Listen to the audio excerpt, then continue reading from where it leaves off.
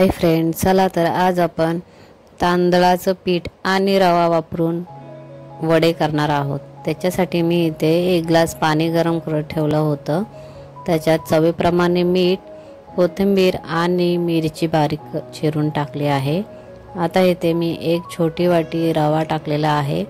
नंतर दीड ग्लास म्हणजे दीड वाटी तांदळाचं पीठ टाकून चांगलं घाटून घेणार आहे. हे पीठ उकडून घ्यायचं असतं. त्यामुळं मी ह्याला चांगली उकड काढून घेणार आहे. उकड झालेली आहे. आता तीन मिनटं मी झाकून ठेवणार आहे. तीन मिनटं झालेली आहे. आता हे परत मी चांगले एकजीव करून घेणार आहे.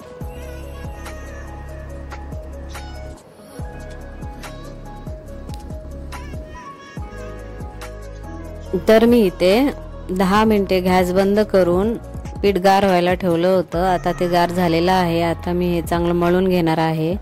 दुसऱ्या भांड्यात नाही त्याच भांड्यात मळून घेणार आहे. पीठ चांगलं मळून झालेलं आहे. आता मी याचे लिंबावडे छोटे छोटे गोळे घेणार आणि वडे तयार करणार. वडे करताना आपल्याला हाताला थोडं पाणी लावावं लागेल आणि मध्ये होल करायचा. तर अशा प्रकारे मी आता सर्व वडे करून घेणार आहे. एका साईडला मी तेल तापत ठेवलेलं आहे. तुम्ही बघू शकता मी कसे वडे करत आहे. वडे आपले झालेले आहेत. आता हे तळून घेऊया. तेल तापलेलं आहे. आता एक एक करून वडे सोडणार आहे.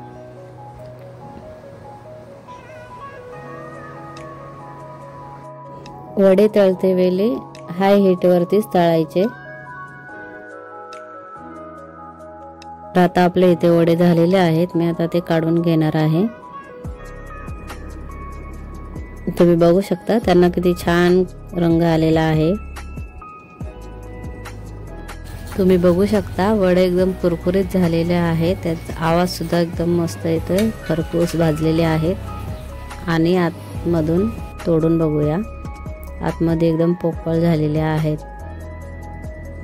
फळे खूप छान लागतात. तुम्ही सांबार बरोबर खाऊ शकता किंवा केचप बरोबरही खाऊ शकता. एकच नंबर झालेले आहेत.